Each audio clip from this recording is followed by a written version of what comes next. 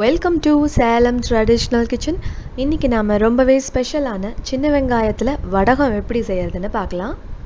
நம்ம வீடியோஸ் எல்லாத்துலேயுமே மோஸ்ட்டாக வடகம் யூஸ் பண்ணி தான் நம்ம சமையல் செய்வோம். வடகம் யூஸ் பண்ணாதான் அந்த குழம்போட டேஸ்ட்டும் சரி மனமும் சரி ரொம்பவே நல்லாயிருக்கும். நான் இன்னைக்கு செய்ய போகிறது மற்றவங்க வாய் வார்த்தை மூலமாக கேட்டதையோ இல்லை மற்ற வீடியோஸில் பார்த்ததையோ செய்யலை.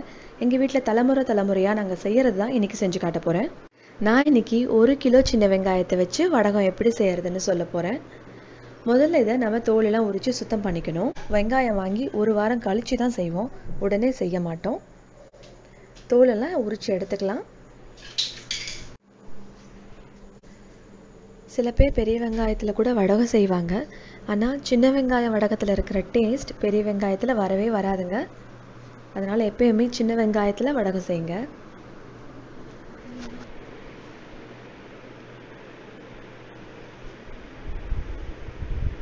பாருங்க எல்லா வெங்காயத்தையும் உரிச்சு எடுத்தாச்சு. இப்போ நாம் இதை அரைச்சி எடுத்துக்க போகிறோம் வழக்கமாக நாங்கள் உரலில் தான் ஆட்டி எடுப்போம் இந்த வெங்காயத்தை. அப்போ தான் நல்லாயிருக்கும் இப்போ முதல் முறையாக உங்களுக்காக நான் மிக்சி ஜாரில் எப்படி செய்கிறதுன்னு சொல்லித்தர போகிறேன் ஏன்னா இப்போ இருக்கிற காலகட்டத்தில் எல்லார் வீட்லேயும் உரல் இருக்காது. அதுக்காக உரல் இல்லாதவங்களும் செய்யணுன்றதுக்காக நான் செஞ்சு காட்டுறேன். கொஞ்சம் கொஞ்சமாக ஒரு மிக்சி ஜாரில் சின்ன வெங்காயத்தை சேர்த்து ரெண்டு சுற்று சுற்றி எடுத்துக்கோங்க. அதுக்கு மேலே சுற்றாதீங்க கிரைண்டரில் செஞ்சாலும் நல்லா வராது. ரொம்ப அறப்பட்டுரும் வெங்காயம். இந்த மாதிரி கொர கொரன்னு இருக்கணும். பாருங்க இந்த மாதிரி இருக்கணும். ஒரு சில வெங்காயம் அரைப்படாமல் இருந்ததுன்னா அதை தனியாக எடுத்துருங்க. அதை லேசாக தட்டி நம்ம சேர்த்துக்கலாம். இல்லைன்னா அடுத்து அரைப்ப அரைக்கும் போது அது கூட சேர்த்து கூட அரைச்சிக்கோங்க. கரெக்டாக ரெண்டே சுற்று தாங்க முன்னாடி ஒரு திருப்பு திருப்புங்க அப்புறம் பின்னாடி ஒரு திருப்பு திருப்புங்க. அதுக்கு மேலே வேண்டாம். இல்லைன்னா ரொம்ப அரைஞ்சிரும். இதே மாதிரி இருக்கிற எல்லா வெங்காயத்தையும் கொஞ்சம் கொஞ்சமாக போட்டு அரைச்சி எடுத்துக்கங்க.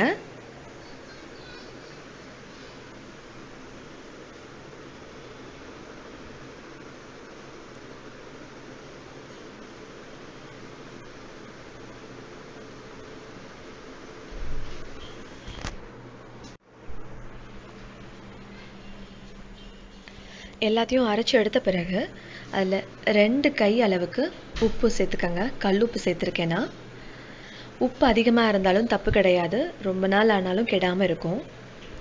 நான் சொல்கிற அளவு வந்து ஒரு கிலோ வெங்காயத்துக்கு.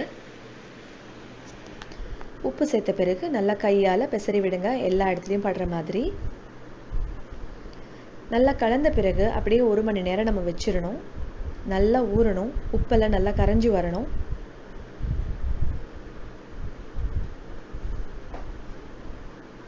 நல்லா கலந்த பிறகு இந்த மாதிரி கையால் தட்டி வச்சிடலாம் ஒரு மணி நேரம் கழித்து நம்ம பார்க்கலாம் இது எப்படி இருக்குன்னு.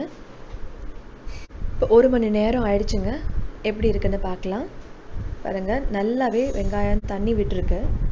இப்போ இந்த தண்ணியெல்லாம் வடித்து நம்ம எடுக்க போகிறோம் ரெண்டு கையால் பிடிச்சி இப்படி பிடிச்சி அழுத்தி எடுங்க. தண்ணியெல்லாம் தனியாக வந்துடும் நல்லா பிழிஞ்சு பிழிஞ்சு ஒரு அகலமான ட்ரேயில் இந்த வெங்காயத்தை வச்சுக்கலாம். பிழிஞ்சு எடுத்து இந்த வெங்காயத்தை நாம் வெயிலில் வச்சு காய வைக்க போகிறோம் இதே மாதிரி எல்லா வெங்காயத்தையும் வடித்து எடுத்துக்கலாம். பாருங்கள் எல்லா வெங்காயத்தையும் பிழிஞ்சு எடுத்தாச்சு. நல்லா எல்லாம் உதுத்து விட்டுக்கோங்க. நல்லா ஸ்ப்ரெட் பண்ணிவிட்டு இதில் நம்ம இதை நம்ம வெயிலில் காய வச்சுக்கலாம். இது ஒரு நாள் ஃபுல்லாக வெயிலில் காயணும்.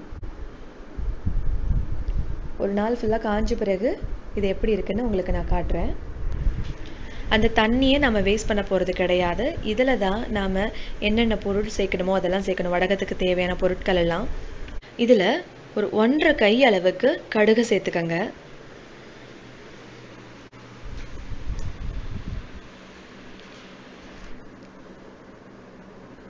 ஒன்றரை கை அளவு உளுத்தம்பருப்பு சேர்த்துக்கங்க.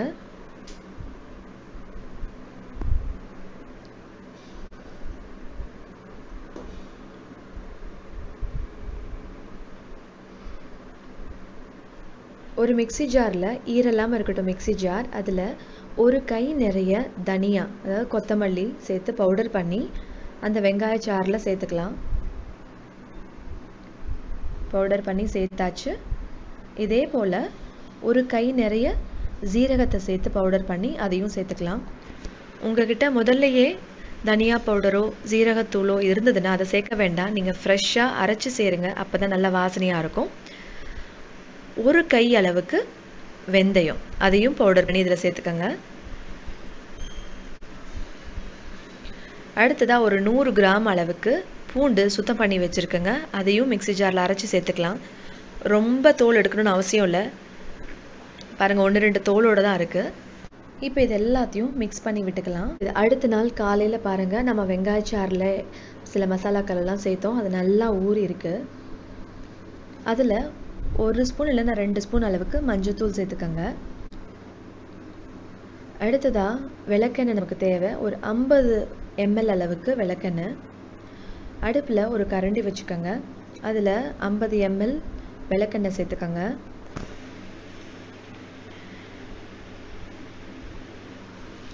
சேர்த்துட்டு அதில் ஒரு பத்து கிராம் அளவுக்கு பெருங்காயத்தூள் சேர்க்கணும். எண்ணெய் காயட்டும் கொஞ்சம். காஞ்ச பிறகு பெருங்காயத்தூள் சேர்த்துக்கலாம். பாருங்க பத்து கிராம் அளவுக்கு பெருங்காயத்தூள் சேர்த்தாச்சு.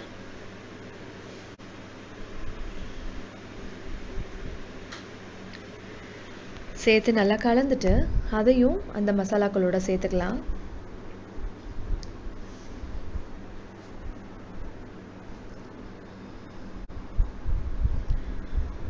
ஒரு கையளவு கருவேப்பிலை எடுத்துக்கோங்க. நல்லா கழுவிட்டு அதையும் மிக்சி ஜாரில் போட்டு ஒரு சுற்றி சுற்றி இதோடவே சேர்த்துக்கலாம். ரொம்ப அரைக்க வேண்டாம். ஒன்று ரெண்டு அரைஞ்சா போதும் அது. சேர்த்துட்டு திரும்ப எல்லாத்தையும் மிக்ஸ் பண்ணிக்கோங்க.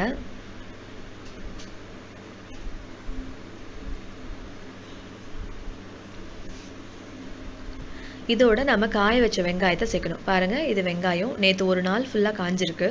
அந்த காஞ்ச வெங்காயத்தை இந்த மசாலாக்களோட சேர்த்துக்கணும். சேர்த்து நல்லா கலந்து உருண்டை பிடிச்சி வெயிலில் காய வைக்கணுங்க. கையால் நல்லா பிசைஞ்சு விட்டுக்கோங்க.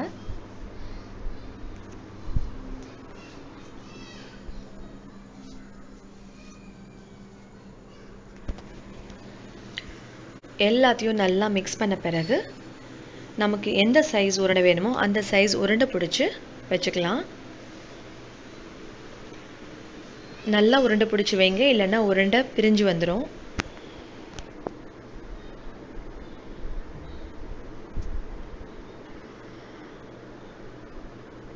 பாருங்க நான் இன்னைக்கு சின்ன சின்ன உருண்டைகளாக தான் பிடிக்கிறேன்.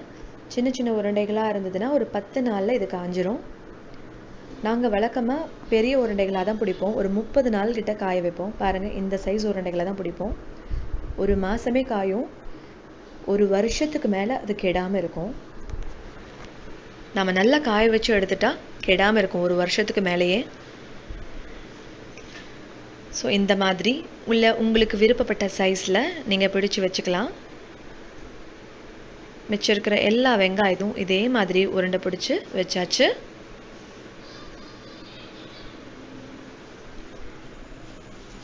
இதில் கொஞ்சமாக அருகம்புல்ல சருவிக்கலாம்.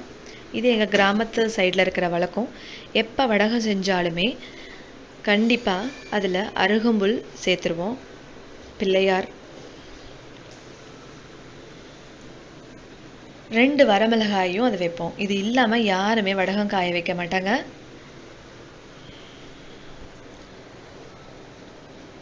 இது ஒரு நாள் ஃபுல்லாக காயட்டுங்க. அடுத்த நாள் உங்களுக்கு எப்படி இருக்குன்னு காட்டுறேன்.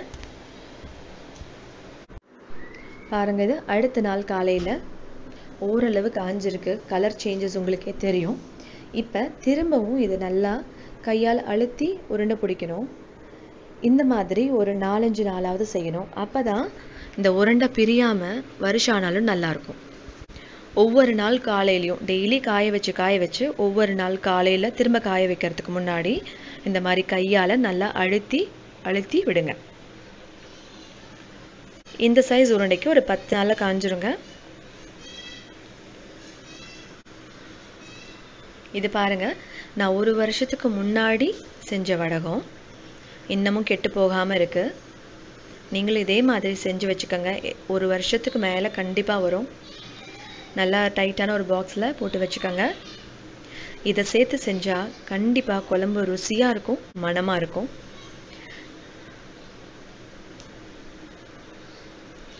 இந்த வீடியோ உங்களுக்கு பிடிச்சிருந்ததுன்னா சேலம் ட்ரெடிஷ்னல் கிச்சனுக்கு சப்ஸ்கிரைப் பண்ண மறக்காதீங்க. லைக் பண்ணுங்கள் ஷேர் பண்ணுங்கள்